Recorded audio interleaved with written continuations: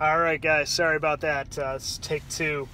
Um, but uh, wanted to wish everyone a happy Monday. I've had a bit of an exciting day.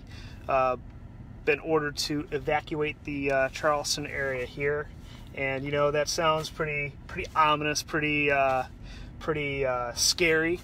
But uh, you know it's it's something that you know my wife and I we, we chose to live in this area and it's something that we have to you know we have to deal with and we have a plan in place to execute.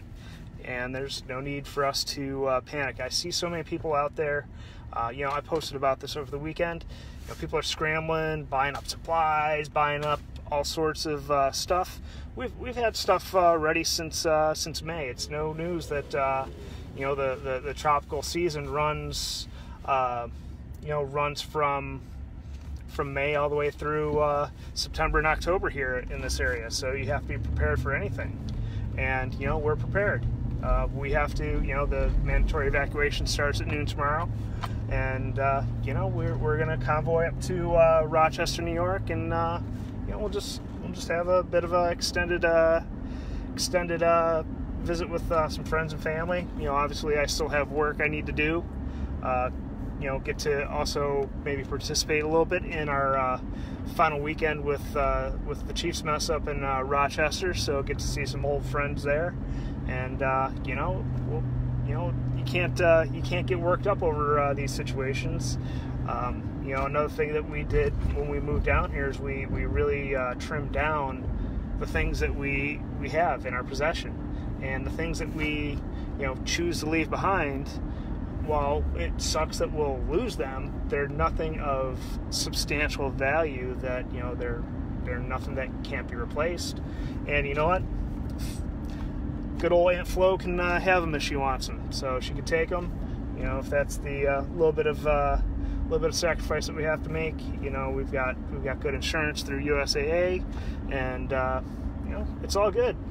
So you know, we'll make the best of it. We're gonna have a cool little road trip. We're gonna we're gonna you know go through uh, Roanoke, Virginia. That's an area that I've never visited to, so make the most of it. So you know, if if you if you're prepared, you know this has been drilled in my head since uh, since being a kid. You know, be prepared, and you know there's you you can't get worked up over situations you can't control. You can't control uh, you know a major Category four or five hurricane um, you know, you drive yourself insane uh, worrying about that type of stuff. So, you know, what can you control? You can control having a good, solid plan with some contingencies built in.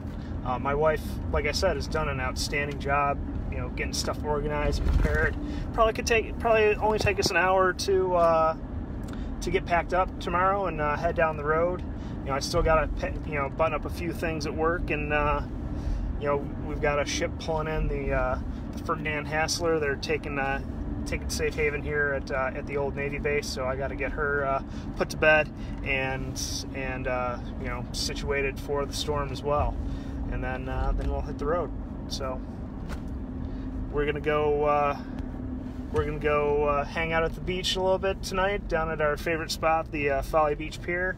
Go get some tacos and uh, do a little do a little packing after afterwards. So, all right, guys, that's uh, that's all I wanted to share with you, and uh, thanks everyone for for tuning in. And uh, I got another call coming in, so I'm going to take that. All right, guys, I'll chat with you later.